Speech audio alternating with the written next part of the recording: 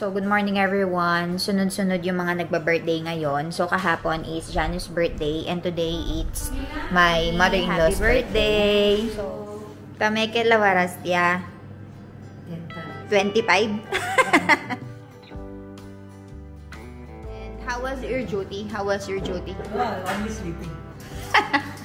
So, for the past three days consecutively, you are you are doing duty. So, after that, night duty. After that, no duty anymore. For the night. Ame kayo. Last time ako yung naglilinis niyan. Pero dahil nga naka-bed rest ako, sila na yung naglilinis. Ah, sila na dapat yung maglinis. Pero 9.40 already, guys. And dumating si na mami ng 9.40. Ah, Milan, Siko. Siko, bye. Siko, birthday gift.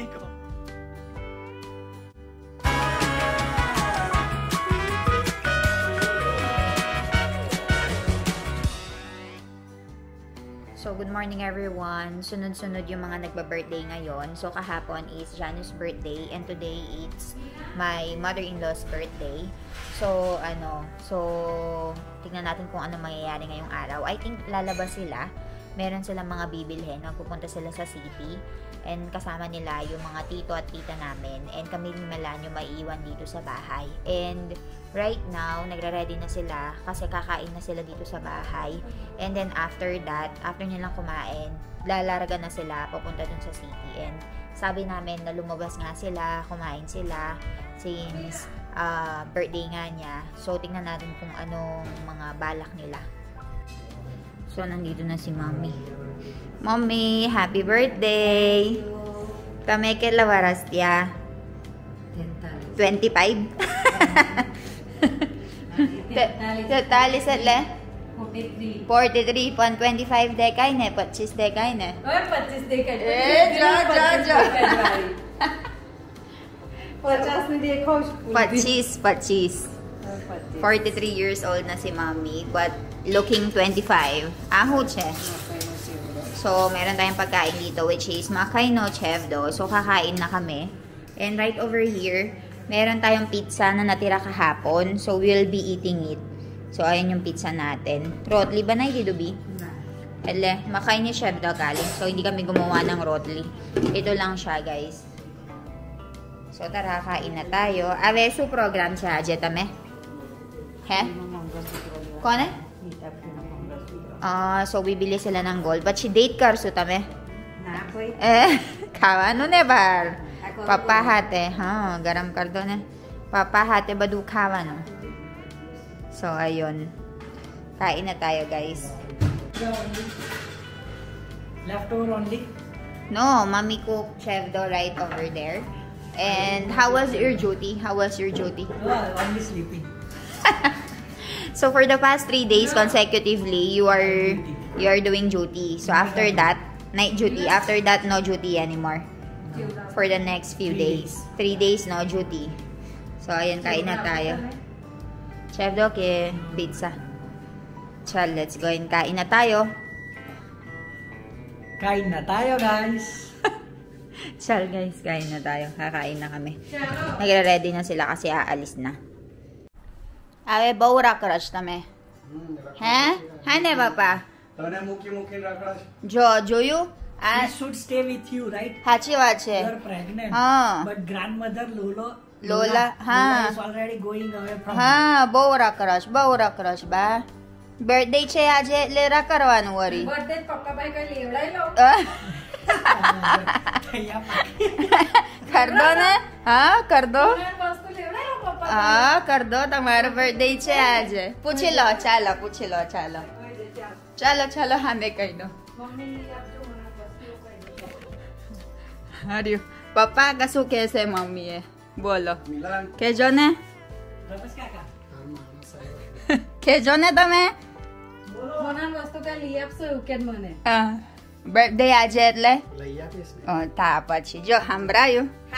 હા એવું કરું. So, ay alis na si Papa. Papa, chalo tame. Santi ti chalao gari. Jay samnarayan So, ayan guys. Nagre-ready na sila. And dumating yung worker natin sa labas. Oh, did you talk to the worker? Oh, Yes. Okay.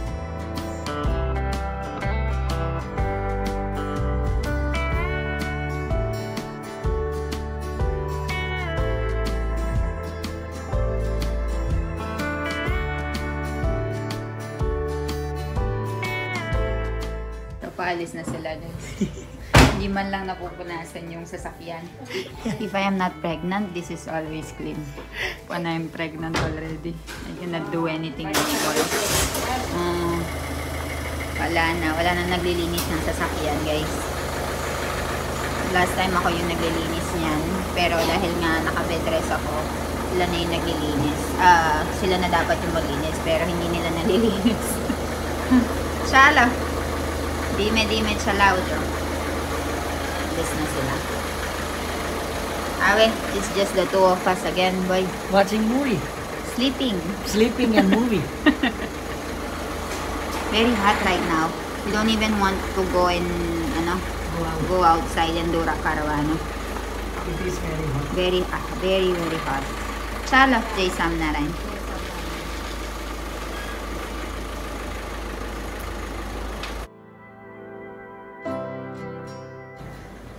ખાવ તું બેટા હા ખાઈ લીધું આવે વસૂલ થઈ ગયું બર્થડે હે Rakrash બધું Rakrash બહુ જો 9.40 already guys and dumating si na mami ng 9.40 Papa Sugi 5 po tame કંઠી લીધી Eh, batay. Ala, pela light polo pela. પછી મસ્ત મસ્ત બતાવવાનું આપણા. Like, ano niya, pela. So, ayan guys, binigyan ng gift si mommy ni papa bataya na kay kay tigya ka laman diri gyate tama ah, Jano Elita biscuit. Okay, so si Jano bumili siya ng biscuit. Ayan, gold biscuit. And mommy bought Kanti.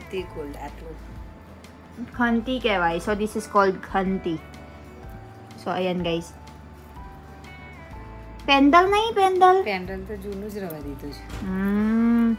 So so ito yung ano Kanti guys na binili ni mommy. So, ayan. Ito yung birthday gift. Birthday gift ni Papa sa kanya. Ano Abe, masta, masta. Ahari siya. Ah. Eh, Papa. Mm. Eh, kam, tame eh, gift ay po mami eh. Maru, ah, maru husband ka sunay ay po man eh. Eh? Husband na dana gorial na ay po. Aha, gorial. So, Papa gave this gift. Sobrang ganda. Milan na, Milan, Siko. Siko, boy, Siko, birthday gift. Siko. Ja, mami no che.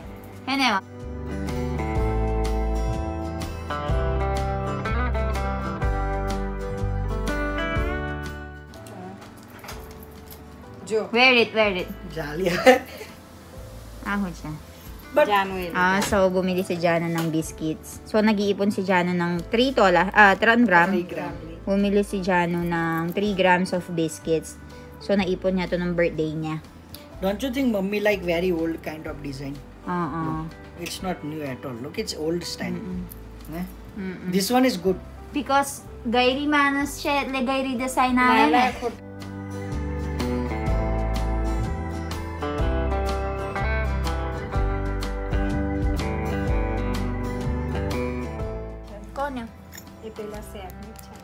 Okay, so ito yun naman. Ito, ito naman yung ano, yung earrings, guys. Ayan. Ay, kilo siya na bego tayo gyutame. Bas karo. Ah, papa. Bas tayo gyale. Kasule ano na ipacha. Ah. Mm.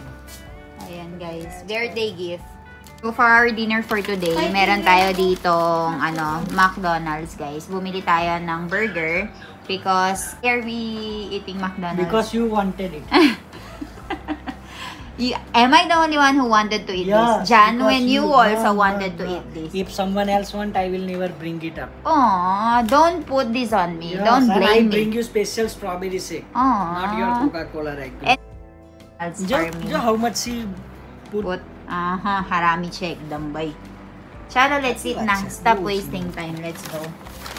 So there is ano, mac cheeseburger and so much more. Tara, let's eat. Ooh. Ay, pakar, pak, pakar, pucker! pakar. Pakar agad namin, bes. Bes, ave?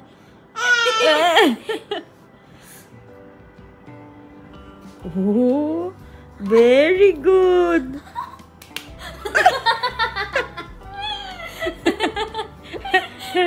આમાં જાય છે હા મસ્તી કરસ હે મસ્તી કરસ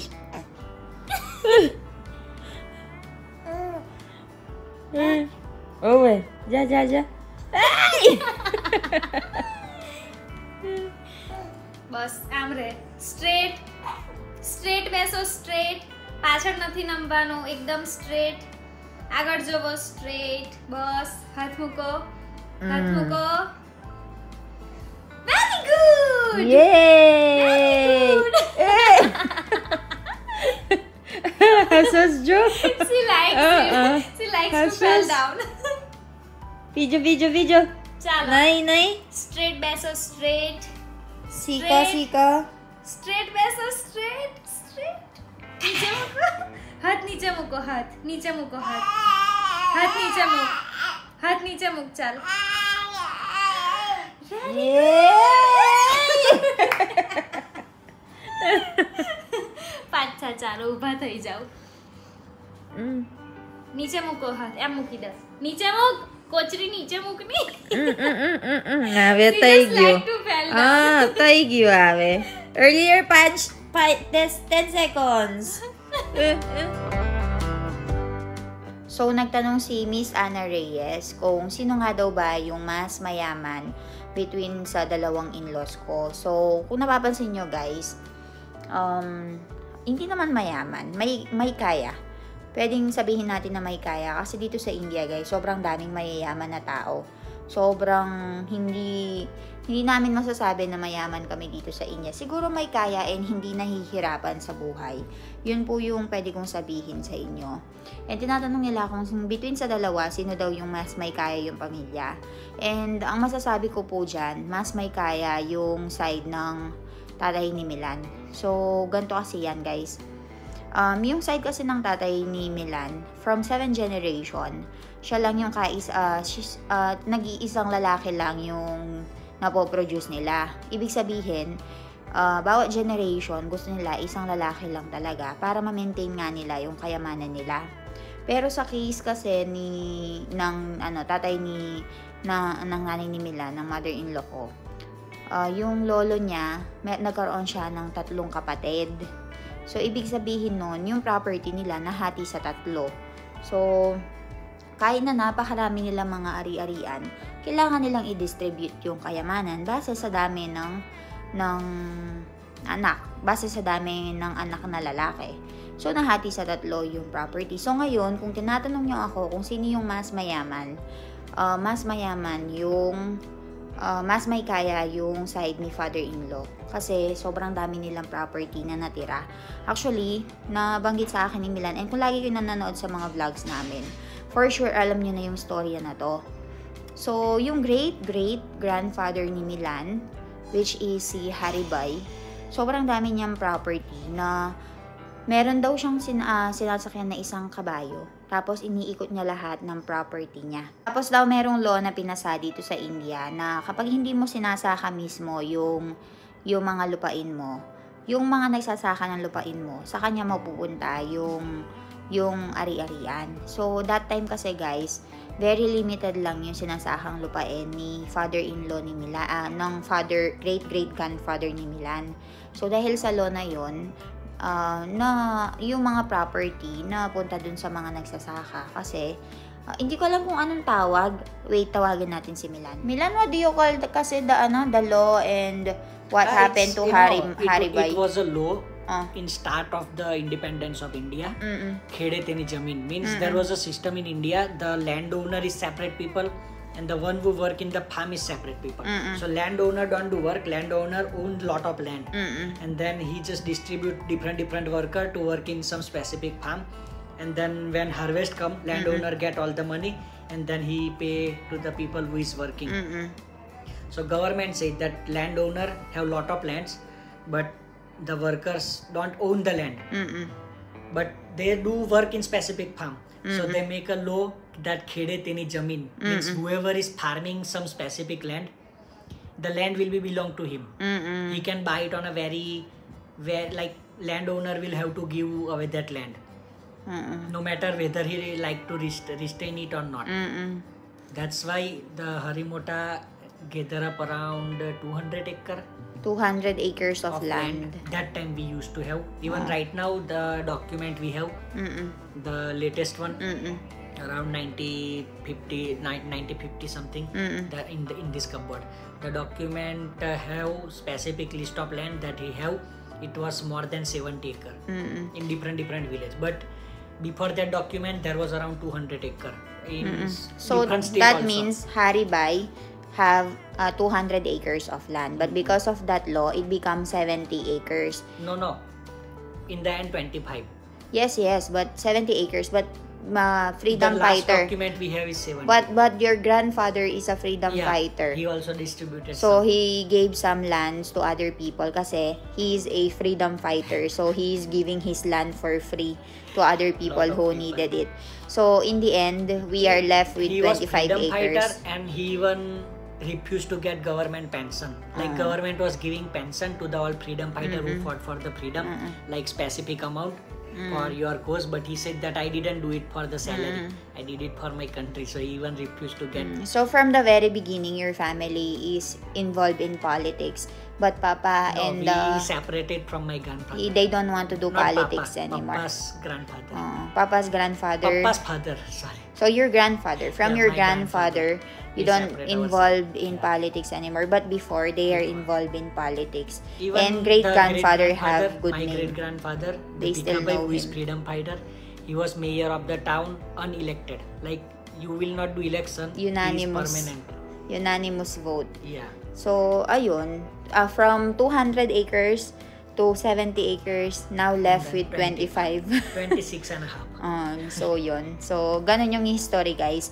That's why it matters talaga if you have one son only kasi the property will remain in that family. But if you have three son, yung other generation, meron silang tatlong anak, dalawang anak, it will be divided. divided seven generations Seven generations, no, no, no only one son. yeah seven seven or eight i think I think we are the first one who will break that generation. nearest relatives nearest relatives is Damimasi Mm-mm. beside Ah, Raju Kaka's neighbor. family, Mm-mm. neighbor one, and they gather up the generation around seven to eight generation before. Mm. They used to be our our great great great great grandfather used to be brothers, but after that no divide anymore. Mm, Seven Only one generation.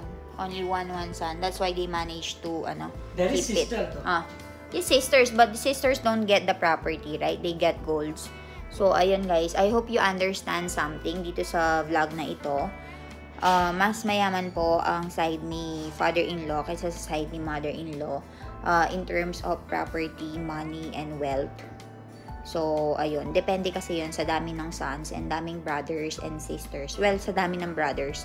So, tingnan natin kung kami yung bibilak, bibiyak ng generation. Kasi si father-in-law gusto niya dalawang anak na daw na lalaki para meron silang katulong. Kasi for the last seven generation, laging isa lang daw yung yung anak na lalaki. So, wala silang katulong, medyo lonely daw, walang walang susuporta sa iyo, ikaw lang mag-isa, lahat na mag-handle ng family. So, this time they're requesting to uh, have two sons. Pero parang ayoko kasi ang daming problema, guys. Kapag dalawa yung anak mo na lalaki, samahan na, hati-hati sa sa pagpapaasawa sa kanila dapat yung mga in ah, yung mga daughter-in-law mo pantay-pantay. So i- i- will tackle it sa mga susunod na araw. Pero hindi natin masasabi, 'di ba, kung ano ibigay ni Lord, yun yung tatanggapin natin. Pero I hope you understand and nasagot natin yung tanong nyo. I'll see you later, guys.